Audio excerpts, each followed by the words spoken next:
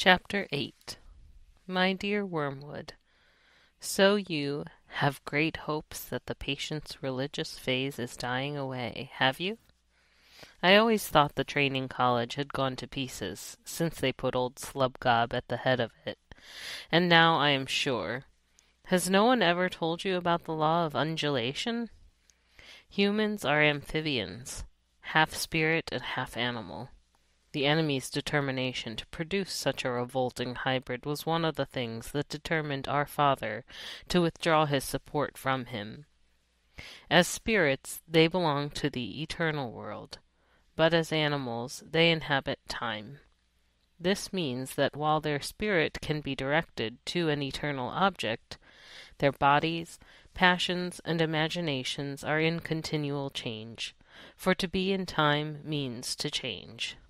Their nearest approach to constancy, therefore, is undulation, the repeated return to a level from which they repeatedly fall back, a series of troughs and peaks. If you would have watched your patient carefully, you would have seen this undulation in every department of his life, his interests and his work, his affection for his friends, his physical appetite, all go up and down. As long as he lives on earth, periods of emotional and bodily richness and liveliness will alternate with periods of numbness and poverty.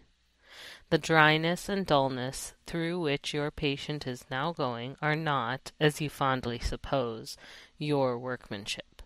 They are merely a natural phenomenon which will do us no good unless you make a good use of it.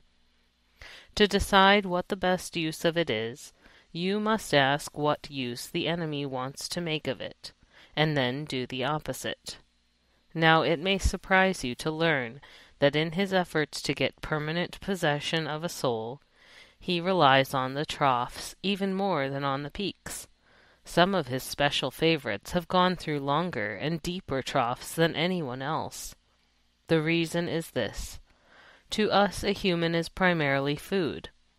Our aim is the absorption of its will into ours, the increase of our own area of selfhood at its expense. But the obedience which the enemy demands of men is quite a different thing. One must face the fact that all the talk about his love for men, and his service being perfect freedom, is not, as one would gladly believe, mere propaganda, but an appalling truth. He really does want to fill the universe with a lot of loathsome little replicas of himself, creatures whose life, on its miniature scale, will be qualitatively like his own, not because he has absorbed them, but because their wills freely conform to his. We want cattle who can finally become food.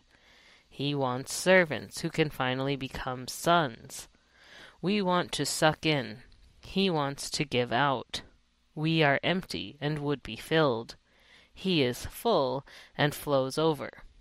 Our war aim is a world in which our Father below has drawn all other beings into himself.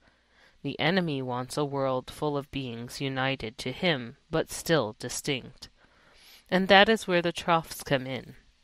You must have often wondered why the enemy does not make more use of his power to be sensibly present to human souls in any degree he chooses, and at any moment.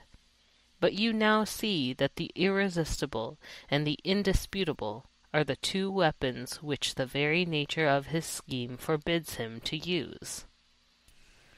Merely to override a human will as his felt presence in any but the faintest and most mitigated degree would certainly do, would be for him useless. He cannot ravish. He can only woo. For his ignoble idea is to eat the cake and have it. The creatures are to be one with him, but yet themselves. Merely to cancel them or assimilate them will not serve. He is prepared to do a little overriding at the beginning he will set them off with communications of his presence which, though faint, seem great to them, with emotional sweetness and easy conquest over temptation. But he never allows this state of affairs to last long. Sooner or later he withdraws, if not in fact, at least from their conscious experience. all those supports and incentives. He leaves the creature to stand up on its own legs, to carry out from the will alone duties which have lost all relish. It is during such trough periods, much more than during the peak periods, that it is growing into the sort of creature he wants it to be. Hence the prayers offered in the state of dryness are those which please him best.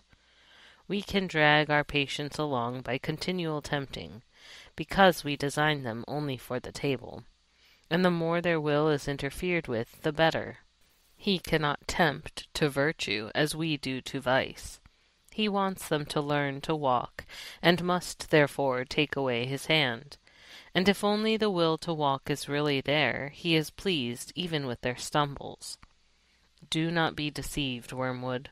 Our cause is never more in danger than when a human, no longer desiring, but still intending, to do our enemy's will, looks round upon a universe from which every trace of him seems to have vanished, and asks why he has been forsaken, and still obeys. But of course the troughs afford opportunities to our side also. Next week I will give you some hints on how to exploit them. Your affectionate uncle, Screwtape.